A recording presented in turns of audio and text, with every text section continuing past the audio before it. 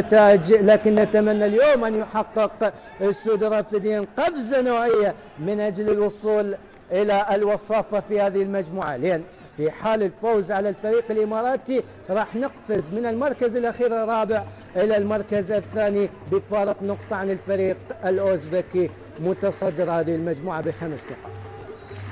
كرة ملعوبة في المنتصف فيصل جاسم إلى سيف سلمان سيف مهارة فردية ينقل الكرة الأمامية أمجد كلف سرعة انطلاقة عراقية بانتظار العرضية خطأ هذا جول جول جول جول جول جول جول جول جول جول جول جول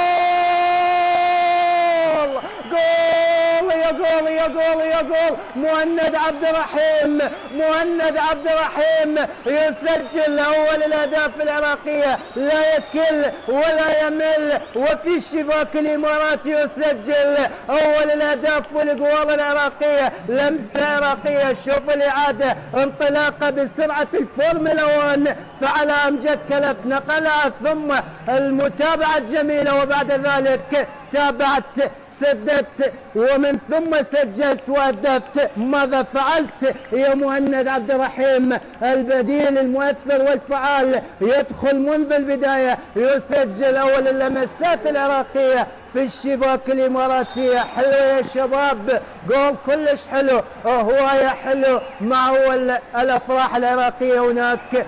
في مدينة العين الإماراتية شغل جميل عراقي منذ البداية. سيف سلمان تحركات في الوسط وسط الميدان ثم ينقل الكرة إلى أمجد كلف. كل شيء فعل أمجد. مقطوعة في المنتصف.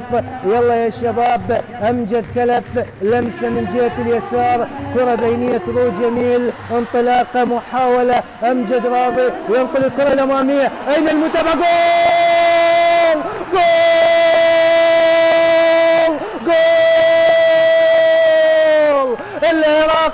العراقي دوم راقي ثاني الأهداف الأولمبية. نبيل صباح يهز الشباك الإماراتية ثنائية عراقية ثرو جميل محاولة انطلاقة كرة عرضية متابعة هجومية ثم اللمسه التهديفيه جول! عراقي ثاني جول كلش حلو وهواية حلو. ماذا فعلت؟ إنك أبدعت تفننت سجلت هدفت وبعد ذلك جلبت الأفراح واحتفلت وابتهجت كثيرا. نبيل صباح هذا هو العراقي.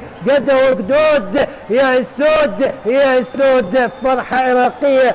هناك في مدينة العين الإماراتية. يا راضي لا تختاف ولدك يفرحون بالملعب ينشفون دمعات العيون وبالتالي فرحة عراقية في مدينة العين الإماراتية. تأتي أحلى المسجات والكل يهتف والكل يكتب. إن كان الشاعر العزيز ميثاق قاسم أو بقية الزملاء والكل الكل يهتف باسم العراق.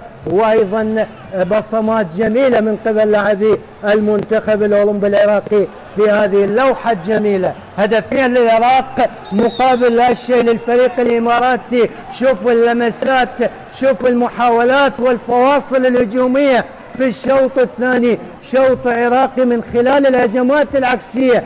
صحيح كنا في حالة دفاع لكن هذه هي كرة القدم. الشاطر من يستغل أخطاء الفريق المنافس وبالتالي فرصة عراقية بجملة تكتيكية جميلة من خلال هذا الأسمراني الكيتاوي أمجد كلف على الصح وقدم الكثير. شوماخر شوماخر عراقي لكنه أتى من برلين.